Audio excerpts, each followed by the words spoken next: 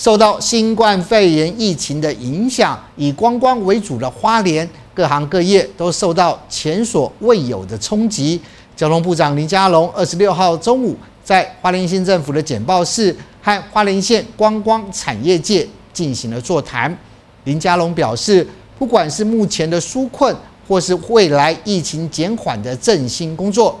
政府会用最大的力道来协助业者度过这波难关。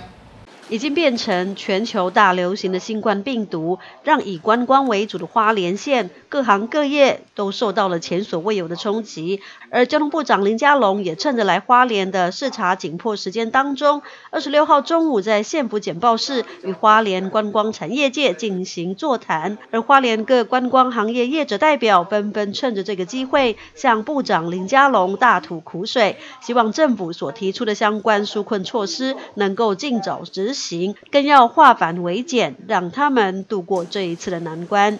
当前我们如何哈提高金融机构办理企业的融资的意愿？现在的金融机构啊，这个对政策的不了解，而且窗口不明确，这个部分呢，是一个对我们地方的微型企业，还有地方的产业啊，这个摸不到熟悉。现在很多的饭店啊，很多的这个实习生跟教呃建教生，那他们在这退场机制啊，因为他是签约的，那必须要有一个退场机制，因为现在因为没有客人，那退场机制我们还要用资遣费给他，那这个因为这个区块是没有纳入这个补助方案，所以这个部分是不是有一些考量？因为每个饭店他们很多的实习生跟建教生建教生，那这个退场机制。希望能够有一个能够给他纳入，因为我们现在已经必须要给他支前位。那我们是建议说，散客的补助是否可以在五月就先行的启动？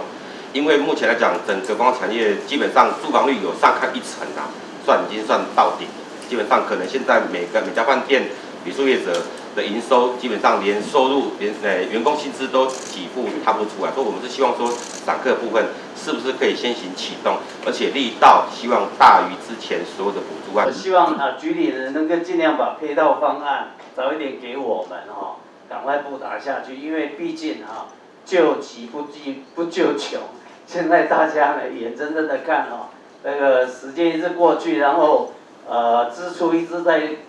在支出出去，但是呢，呃期盼的收入并没有进来啊。所以这一部分呢，是不是局里面呢，尽量的就是从速、从优、从宽的来处理？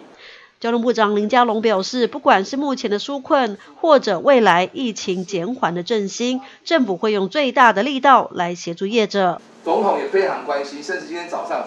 呃，本来也要邀请我去开会，后来因为我来交通委员会，他改到我下我的会变成下午开，要更全面的扩大这次纾困，不止第一期的特别预算六百亿。